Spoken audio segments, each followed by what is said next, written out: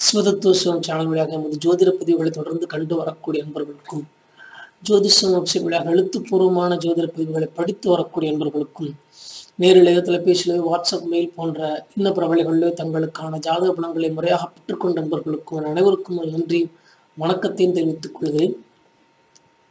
கொரோனாவின் தாக்கம் உலக நாடுகள் மற்றும் இந்திய நாட்டிலும் மிகப்பெரிய தாக்கத்தை ஏற்படுத்தி உள்ளது உயிர் இழப்புகள் உலக அளவில் ஐந்து லட்சத்தை கடந்து சென்று கொண்டிருக்கிறது. இந்திய அளவில் பார்க்கும்போது இருபதாயிரத்தை கடந்து போகிறது. கொரோனா தொற்று நோயின் தாக்கங்களை பற்றி எமது வலைதளத்தில் மார்ச் மாதத்திலேயே முக்கிய இரண்டு ஜோதிட கட்டுரைகளை வழங்கியிருந்தேன். அதில் ஜூலை மாதம் வரை கொரோனா தொற்று நோயின் தாக்கம் இருக்கும். அதாவது அப்டெண்டில் ஏற்ற போக்கில் இருக்கும் என்று அந்த வலைதளத்தில் எமது பதிவில் எழுதியிருந்தேன். மார்ச் மாதத்திலேயே அந்த பதிவை நாம் தரும்போது அமெரிக்காவில் வெறும் நூறு பேருக்கு உள்தான் இறந்திருந்தார்கள். இந்த நோயின் தாக்கம் இவ்வளவு தீவிரத்தை அடையலாம். ஒரு லட்சத்திற்கு மேல் மரணத்தை தொடலாம் என்றும் இரண்டாவது பதிவில் ஐந்து லட்சம் வரை கூட போகலாம் என்றும் கொடுத்திருந்தோம். ஜூலை மாதத்தை தொடும்போது ஐந்து லட்சம் எட்டியிருக்கும். அதாவது ஜூனுக்குள்ளேயே ஐந்து லட்சத்தை தொட்டிருக்கும் இறப்பு விகிதம் உலக அளவில் என்று கொடுத்திருந்தது. இந்த பதிவுகளெல்லாம் மார்ச் மாதத்தில் ஏப்ரலின் நான்காம் தேதி கொடுக்கப்பட்ட பதிவு. இந்த பதிவுகள் வழியாக உலகம் எப்போது நிவாரணம் அடையும் என்றும் கூறியிருந்தேன். அது ஜூலை மாதம் ஏழாம் தேதி. அதுதான் இந்த தேதி. இந்த ஏழாம் தேதி ஜூலை மாதத்திற்கு பிறகுதான் இந்த அப்ட்ரெண்டில் அதாவது ஏற்ற போக்கில் இருக்கும் கொரோனா நோயின் தாக்கம் சற்று மிதமாகி டவுன் ட்ரெண்டில் அதாவது இறக்கப்போக்கில் இனி வருகிற ஆகஸ்ட் மாதத்திற்கு பிறகு அதாவது உலக மக்கள் இந்த பிரச்சனையிலிருந்து தப்பி உயிர் வாழும் அந்த ஒரு காலம் வரும். அந்த உயிர் வாழ்வதற்குண்டான சக்தியான அந்த மருந்தையோ அல்லது தடுப்பு ஆற்றலை கொடுக்கக்கூடிய மருந்தையும் இந்த உலக மக்கள் கண்டடைவார்கள் என்று கூறியிருந்தேன்.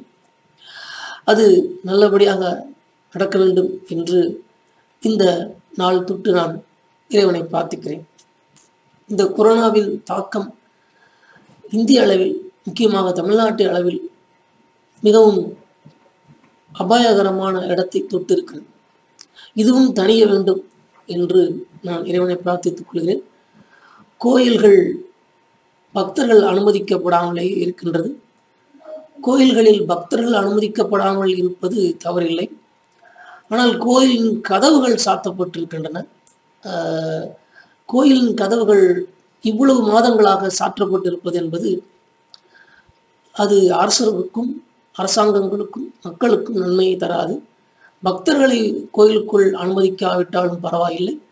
கோயிலின் கதவுகளையாவது திறந்து வைத்து தெய்வம் வெளியே வந்து தங்கள் நற்பணியை செய்ய வேண்டிய நம்ம பிரார்த்தனையை செய்கிறோம். அந்த தெய்வங்கள் வெளியே வந்து நற்பணி செய்ய வேண்டும். மக்களை காக்க வேண்டும். அப்படி என்றால் அந்த கோயிலின் கதவுகளை திறந்து வைத்திருக்க வேண்டும். கோயிலின் கதவுகளை அடைத்து வைத்திருக்கிறது பக்தர்களை அனுமதிக்காவிட்டாலும் பரவாயில்லை. கோயிலின் கதவுகளை அடைத்து வைத்திருப்பது என்பது நாட்டிற்கு நல்லதல்ல.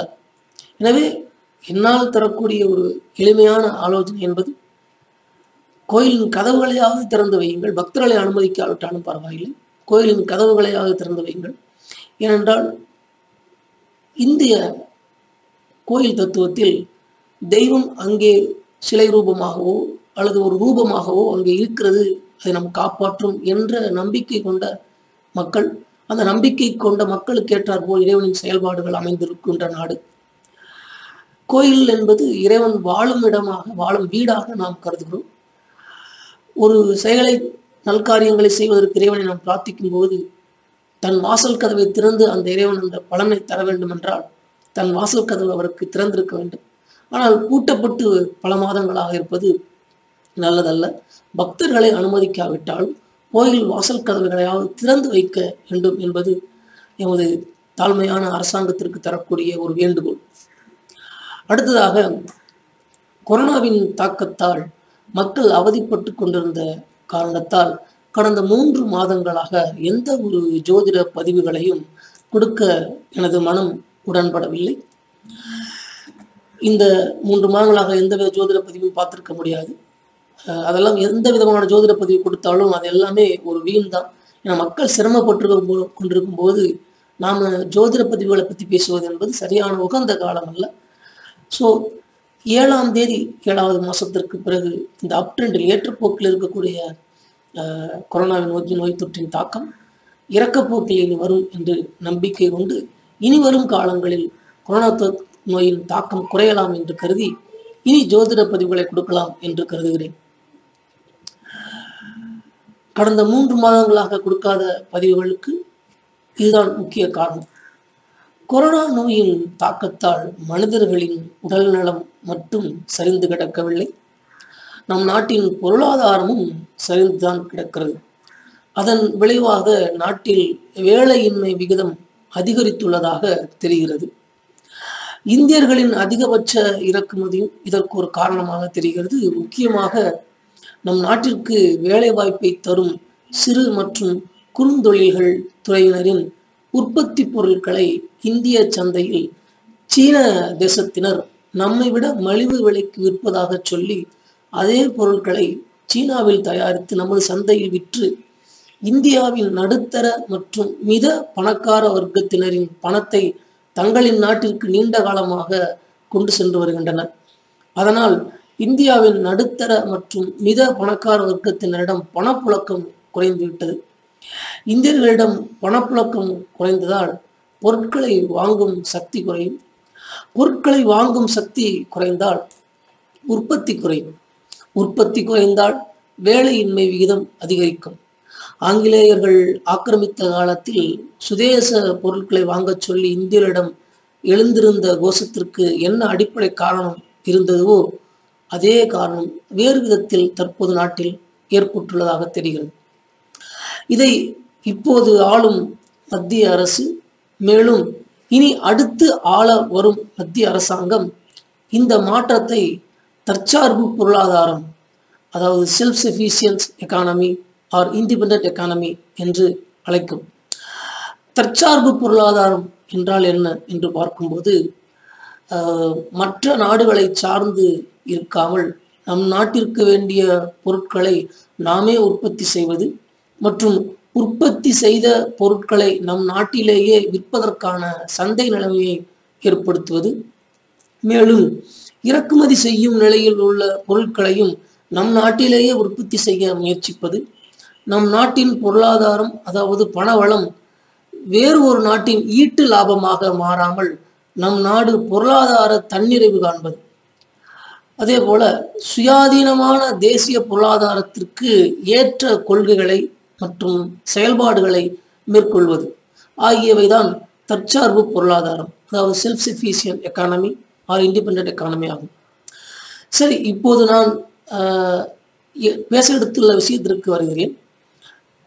எவருக்கும் எதனால் எந்த நிலையில் ஜாதகத்தில் வேலையின்மை ஏற்படுகிறது என்பதை தான் நாம் பார்க்க போகிறோம். பொதுவாக நாட்டில் இந்த நோய் தொற்றின் காரணமாக கொஞ்சம் வேலை வாய்ப்பின்மை தெரிகிறது. எனவே கொ- இந்த கொரோனா நோய் தொற்றின் தாக்கம் தீரக்கூடிய காலம் இனி வரலாம் என்று கருதக்கூடிய சூழலில் முதல் பதிவாக நாட்டு மக்களுக்கு இப்போது அத்தியாவசியமான பிரச்சனையாக இருக்கக்கூடிய வேலைவாய்ப்பின்மையுடைய தாக்கத்தை பற்றி முதல் ஜோதிட பதிவாக நாம் கொடுக்கலாம். அது பயனுள்ளதாக இருக்கும். என்று கருதி இந்த பதிவை தருகிறோம். அதாவது ஒருவரது ஜாதக கட்டத்தில் பனிரெண்டு ஸ்தானங்களில் கர்மஸ்தானம் அதாவது வேலை வீடு என்று அழைக்கப்படக்கூடிய வீடு பத்தாம் ஸ்தானமாகும். அந்த பத்தாம் ஸ்தானம் மற்றும் பத்தாம் ஸ்தானத்தை பார்க்கும் கிரகங்கள் பத்தாம் ஸ்தானத்தின் அதிபதி மற்றும் பத்தாம் ஸ்தானத்தின் அதிபதியுடன் சேரும் கிரகங்கள் அந்த கிரகங்கள் அமைந்த விதம் இதன் பலத்தை பொறுத்து பலருக்கு அவரவர் வேலை வாய்ப்பின் பலம் அமைந்து வரும் மேலும் ஒருவரது ஜாதக கட்டத்தில் பன்னிரண்டு ஸ்தானங்களில் லாபஸ்தானம் அதாவது வருமான வீடு என்று அழைக்கப்படக்கூடிய வீடாகிய பதினொன்றாம் ஸ்தானமாகும். அந்த பதினொன்றாம் ஸ்தானம் மற்றும் அந்த பதினொன்றாம் ஸ்தானத்தை பார்க்கும் கிரகங்கள் பதினொன்றாம் ஸ்தானத்தின் அதிபதி மற்றும் அந்த பதினொன்றாம் ஸ்தானத்தின் அதிபதியுடன் சேரும் கிரகங்கள் அந்த கிரகம் அமைந்த விதம். இதன் பலத்தை பொறுத்து பலருக்கும் அவரவர் வேலை வாய்ப்பில் சம்பளம் மற்றும் வருமான பலம் அமைந்து வருகிறது. இந்த பத்தாம் ஸ்தானம் பதினொன்றாம் ஸ்தானத்தின் முக்கியத்துவம் இதுதான். அதுவும் இந்த போன்ற ஒரு காலங்களில் வேலையையும் சம்பளத்தையும் வருமானத்தையும் பலத்தோடு வைத்திருப்பவர் தான் ராஜா. அப்படிப்பட்ட ஒரு காலமாக இந்த காலம் இருக்கின்றது. ஒருவருக்கு நல்ல வேலை இருக்கிறதா நீதான் ராஜா. நல்ல வருமானத்தோடு வேலை இருக்கிறதா நீதான் ராஜா. நல்ல சம்பளம் கிடைக்கிறதா நீதான் ராஜா. நல்ல லாபம் வருகிறதா நீதான் ராஜா. இந்த காலகட்டத்தில் இதை அடைந்து வைத்திருப்பவன் தான் இப்போது ஒரு ராஜா போல் வாழ்கிறான். ஸோ எப்போதுமே பத்தாம் இடமும் பதினொன்றாம் இடம் அதாவது வேலையும் வேலையினால் வரக்கூடிய சம்பளமும் ராஜா தான். இருந்தாலும் இது போன்ற ஒரு பொருளாதார சரிவு காலங்களில் இதை வேலையும் நல்ல உரிய சம்பளத்தையும் வைத்திருப்பவர் தான் ராஜா. வேலையின்மை ஏற்படக்கூடாது. இருந்தாலும் வேலையின்மை ஏற்படுவது எதனால் எது போன்ற காரணங்களால் வருகின்றது என்பதைத்தான் நாம் பார்க்க இருக்கின்றோம். இதில் ஒருவரது ஜாதக கட்டத்தில் பனிரெண்டு ஸ்தானங்களில் மறைவு ஸ்தானங்கள் என்று அழைக்கப்படக்கூடிய ஸ்தானங்கள் உண்டு. அவை மூன்று ஆறு எட்டு பனிரெண்டு ஆகிய ஸ்தானங்களாகும். இந்த ஸ்தானங்களுக்கு பலம் கூடுதலாக இருந்து இந்த மறைவு ஸ்தானங்களின் திசா புத்திகள் அஹ், நடக்கும் சமயங்களில் ஒருவர் ஜாதகருக்கு வேலையின்மை பிரச்சனைகள் தோன்றலாம். இதை சற்று விரிவாக பார்க்கலாம். ஒருவரது ஜாதகத்தில் பனிரெண்டு ஸ்தானங்களில் மூன்றாம் வீடு ஒரு மறைவு ஸ்தானமாகும். இந்த மூன்றாம் வீடு ஒரு ஜாதகருக்கு வேலையில் பிரச்சனை மற்றும் வேலையின்மை உண்டாக்க வாய்ப்பு அதிகம் கொண்ட ஸ்தானமாகும். இந்த மூன்றாம் வீடு அந்த வீட்டின் அதிபதியின் புத்தி காலம் ஒருவருடைய வாழ்நாளில் வருகிற சமயம் மேலே சொன்ன பத்தாம் மற்றும் பதினொன்றாம் ஸ்தானம் பலம் குறைகிற சமயமும் கூடி வந்தால் ஒருவருக்கு வேலையில் பிரச்சனைகள் மற்றும் வேலையின்மை உண்டாகலாம். அதாவது எதனால் இந்த மூன்றாம் வீடு இந்த மாதிரியான பாதிப்புகளை தரலாம் என்று பார்க்கும்போது அதாவது வேலையின்மை என்ற பிரச்சனையை மூன்றாம் வீடு தரலாம். எதன் காரணமாக எதை வழியாக தரலாம் என்று பார்க்கும்போது திறன் குறைபாடு ரோசப்படுதல் கோபம் தன்மான பிரச்சனை தொழிலில் பதவியில் அரசியல் விளையாண்ட காரணத்தால் உண்மைகளை பேச முடியாமல் போவது போன்ற காரணங்களால் மூன்றாம் வீட்டின் அதிபதியின் புத்தி காலத்தில் ஒருவர் தனது வேலையின்மை பிரச்சனைகளை சந்திக்கலாம். அதாவது திறன் குறைபாடு ரோசம் கோபம் தன்மான பிரச்சனை தொழிலில் பதவியில் அரசியல் விளையாண்ட காரணத்தால் உண்மைகளை பேச முடியாமல் போன காரணத்தினால் இந்த போன்ற காரணங்களை உண்டாக்கி மூன்றாம் வீட்டின் அதிபதி தனது புத்தி காலத்தில் ஒருவருக்கு வேலையின்மை பிரச்சனைகளை சந்திக்க வைக்கலாம். அடுத்ததாக நாம் ஒரு ஒரு ஜாதகத்தில் பனிரெண்டு ஸ்தானங்களில் ஆறாம் வீடு. இதுவும் ஒரு மறைவு ஸ்தானமாகும். ஆஹ் மூன்றாம் வீடு கொஞ்சம் அதிகமான பலத்தை கொண்டது வேலையின் பிரச்சனையை உண்டாக்குவதற்கு. அடுத்ததாக ஆறாம் வீடு. ஆறாம் வீடும் ஒரு மறைவு ஸ்தானமாகும். இந்த ஆறாம் வீடு ஒரு ஜாதகருக்கு வேலைகள் பிரச்சனைகள் மற்றும் வேலையின்மையை உண்டாக்க வாய்ப்பு கொண்ட ஸ்தானமாகும். இந்த ஆறாம் வீடு அந்த வீட்டின் அதிபதியின் புத்தி காலம் ஒருவருடைய வாழ்நாளில் வருகிற சமயம். மேலே சொன்ன அந்த பத்தாம் மற்றும் பதினொன்றாம் ஸ்தானம் பலம் குறைகிற சமயமும் கூடி வந்தால் ஒருவருக்கு வேலையில் பிரச்சனைகள் அல்லது வேலையின்மை உண்டாகலாம். அதாவது இந்த ஆறாம் வீட்டின் அதிபதி ஆறாம் ஸ்தானம் எது மாதிரியான காரணங்களால் ஒருவருக்கு வேலையின்மை பிரச்சனைகளை உண்டாக்கலாம் என்று பார்க்கும்போது சேவை குறைபாடு ஊழியர்களிடையே சச்சரவு சந்தை போட்டி வழக்கு எதிரடையான நடத்தை பழிவாங்கல் வளைந்து கொடுத்து போக முடியாமல் போவது போன்ற காரணங்களால் ஆறாம் வீட்டின் அதிபதி ஆறாம் வீட்டின் சமயம் அந்த புத்தி காலத்தில் ஒருவருக்கு தனது வேலையின்மை பிரச்சனைகளை சந்திக்கலாம். அடுத்ததாக ஒருவரது ஜாதகத்தில் பனிரெண்டு ஸ்தானங்களில் எட்டாம் வீடு ஒரு மறைவு ஸ்தானமாகும்.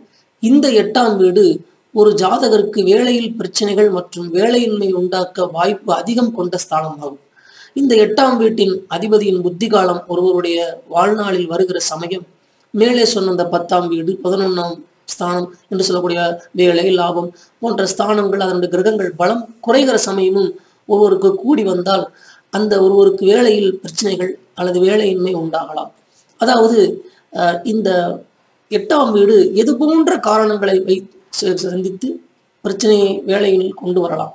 அல்லது வேலையின்மையை கொண்டு வரலாம் என்று பார்க்கும்போது தேவை குறைபாடு வேலை நிறுத்தம் நிறுவன நஷ்டம் வழக்கு வாய் தகராறு அவமானம் ஆபத்து விபத்து உண்மைகளை உணர்த்த முடியாமல் போவது மற்றும் சோதனை காலம் போன்றவை நிறுவனங்களுக்கோ அந்த வேலைக்கோ உண்டாக்கி அந்த காரணங்களால் எட்டாம் வீட்டின் அதிபதியின் புத்தி காலத்தில் ஒருவருக்கு தனது வேலையின்மை பிரச்சனையை சந்திக்கலாம். அடுத்ததாக ஒரு ஒரு ஜாதகத்தில் பனிரெண்டு ஸ்தானங்களில் பனிரெண்டாம் வீடும் ஒரு மறைவு ஸ்தானமாகும். இந்த பனிரெண்டாம் வீடு ஒரு ஜாதகருக்கு வேலையில் பிரச்சனைகள் மற்றும் வேலையின்மையை உண்டாக்க வாய்ப்பு அதிகம் கொண்ட ஸ்தானமாகும். இந்த பனிரெண்டாம் வீடு அதிபதியின் புத்தி காலம் ஒருவருடைய வாழ்நாளில் வருகிற சமயம்.